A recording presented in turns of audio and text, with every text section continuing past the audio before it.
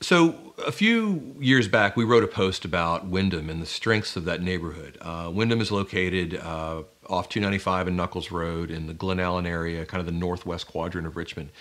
And it's unique in that it's one of the only neighborhoods that really offers an entire life cycle uh, for a homeowner. In that it's got, uh, you know, some basic entry level housing, you know, all the way up to million dollar, you know, huge homes on the water overlooking the golf course.